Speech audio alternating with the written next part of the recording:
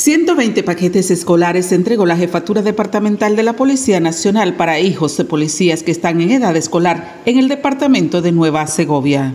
Beneficiando de esta manera a nuestros hijos y nuestras hijas para que esto nos ayude a que nuestros hijos y hijas puedan tener ese material, esa mochila, con que ellos puedan asistir a clase y recibir el pan de la enseñanza.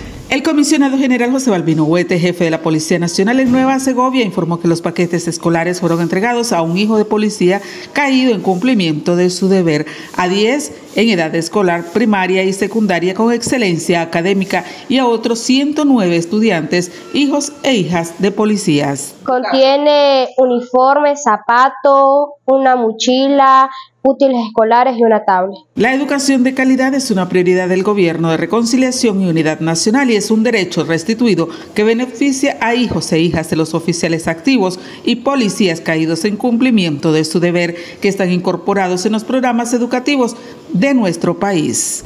Desde Ocotal, Nueva Segovia, Alina Lorío.